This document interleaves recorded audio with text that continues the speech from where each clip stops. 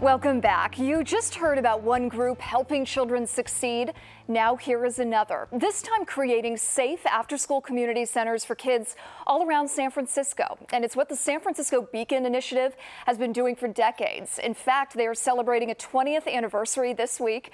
And please welcome the executive director of the Beacon Initiative, Pam Pradachitch-Demler. Good morning. Thank you for being here. Good morning. Thanks for having me. So 20 years, what is the secret to uh, your success? It's, you know, an amazing opportunity we have to celebrate 20 years of Beacons in San Francisco. We're a national model and really inspired by a vision from Commissioner Murphy in New York 20 years ago, where what would happen if we could imagine and reimagine school sites and turn them into vibrant hubs for the community. It was really this idea that we saw across the city in New York, schools were closed at 3 o'clock, kids were playing on the street. What would happen if we unlocked those doors, turned on the lights, and created a beacon of hope? And I think we were so inspired in San Francisco, we brought that model back here um, and spread beacon cities across eight neighborhoods in San Francisco. Um, I think what sustained us over time is that, you know, for so long we think about kids and sort of their troubles and their needs and what they're doing wrong. And I think beacons really shine a light on what they do right.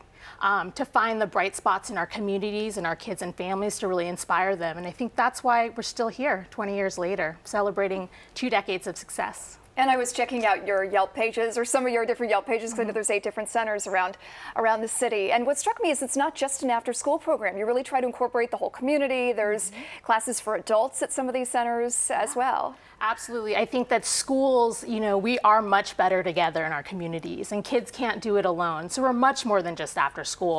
We're working and partnering with teachers during the day. We're opening up in the evenings for parents um, and getting community members really excited about opening the doors, coming into schools and really changing not only the lives of children and families, but the life of this neighborhood and the vibrancy of the neighborhood.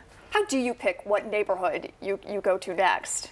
Yeah, I mean, it was really interesting, I think, when we began to think about what could Beacon look like in San Francisco. It was incredibly important that we knew where we were, were where the kids were, where where the needs were, um, and where we really had to find um, an opportunity to connect with um, the city across, right? We have one of the largest youth development programs that are coordinated in the Bay Area, and we serve over 10,000 children, youth, and families um, over the course of one year. And so for us, it was really about where are the needs um, that are the most, are the highest, and how do we really reach the community?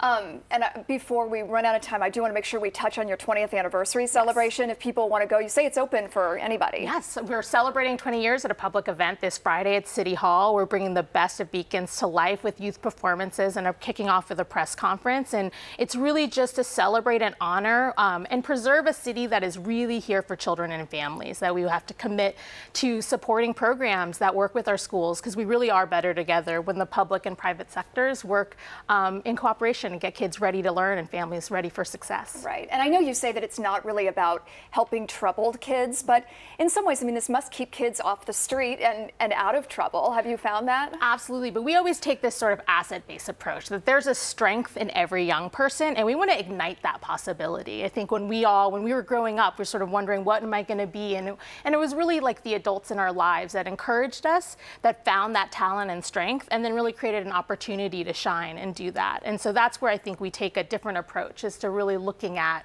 what are the needs, um, but also what are the assets in our young people in our communities and really bring that out through workforce opportunities, job internships and skills. And what about that, that relationship you have with the schools where the community center is based? I would assume that that's a pretty yeah. dependent relationship in a lot of ways. You got to work is. together. It was one of the first models of how community partners and schools really work together. I mean, it was one, you know, public education funding is dwindling, and in California, we're facing a crisis around public education. And I think it's really important to sort of model what it looks like to have private organizations, to have community members to really come in. And it's tricky, right? You figure out how do we schedule classes? How do we co-locate in this building, but then truly partner and align so that we're working all together, all the adults for kids. That's great. Well, I hope you have a very successful next 20 years and beyond.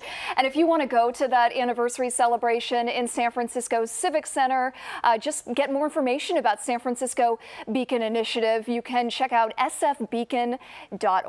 All the information is right there on their homepage. We'll be back with more Bay Sunday right after this break.